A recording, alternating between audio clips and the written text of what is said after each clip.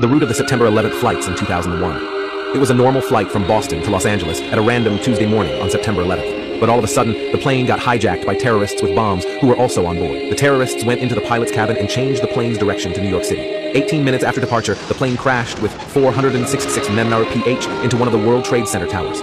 Meanwhile, a second passenger plane started. With it, five terrorists on board.